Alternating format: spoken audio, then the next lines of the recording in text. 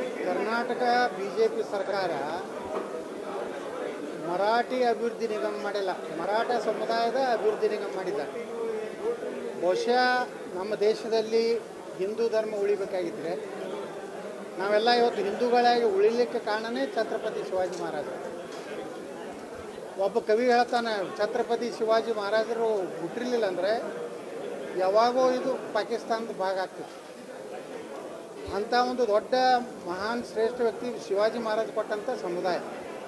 ಅವರು ಕನ್ನಡಿಗರೇ, ಆದಿಲ್ ಶಾಹಿ ಕಾಲದಲ್ಲಿ ಶಹಾಜಿ ರಾಜೆ, ಯಾರು ಶಿವಾಜಿ ಮಹಾರಾಜರ ತಂದೆ, ಬೆಂಗಳೂರಿನ ಸರ್ದಾರರಿದ್ದರು ಬೆಂಗಳೂರನ್ನು ಕಂಟ್ರೋಲ್ ಯಾರು ಮಾಡ್ತಾಯಿದ್ರು ಅಂದ್ರೆ ಮರಾಠರೇ.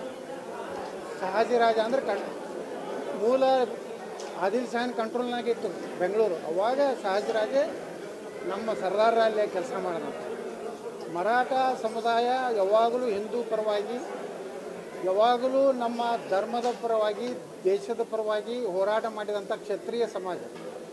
ಆ ಸಮಾಜಕ್ಕೆ ಕೊಟ್ಟಿದ್ದು ಇನ್ನೂ ನಾ ಸರ್ಕಾರಕ್ಕೆ ಆಗ್ರಹ ಮಾಡ್ತೀನಿ. ಕಾನೂನಾತ್ಮಕವಾಗಿ ಆ ಒಂದು ಪ್ರಾಧಿಕಾರಕ್ಕೆ ಏನೇನು ಸೌಲಭ್ಯ ಮರಾಠರಿಗೆ ಕೊಡಬೇಕು, ಅದನ್ನು ಕೊಡಲೇಬೇಕು. ಇದು ನನ್ನ ಆಗ್ರಹ. ಯಾಕಂದ್ರೆ ಮರಾಠ ಸಮಾಜ, ಹಿಂದೂ ಸಮಾಜದ ರಕ್ಷಣೆ ಮಾಡಿದಂಥ ಸಮುದಾಯ. ಮರಾಠಿ ಭಾಷೆ ಬಗ್ಗೆ ನಾನು ವಿರೋಧ ಇದೆ. ಕರ್ನಾಟಕದಲ್ಲಿ. ಬೆಳಗಾವಿ ವಿಚಾರದಲ್ಲಿ ನಾನು ಇವತ್ತು ಶಿವಸೇನಾನ ವಿರುದ್ಧ ಮಾಡ್ತೇನೆ, ಶರದ್ ಪವಾರ್ನ ವಿರೋಧ ಮಾಡ್ತೇನೆ, ಅಜಿತ್ ಪವಾರ್ ಬಾಯಿಗೆ ಅ- ಅಯೋಗ್ಯನ ಬಗ್ಗೆ ನಾನು ಟೀಕೆ ಮಾಡ್ತೇನೆ. ಆದರೆ ಮರಾಠ ಸಮುದಾಯದ ದೊಡ್ಡ ಕೊಡುಗೆ ಮೈಸೂರಿನಾಗೂ ಮರಾಠರಿದ್ದಾರೆ.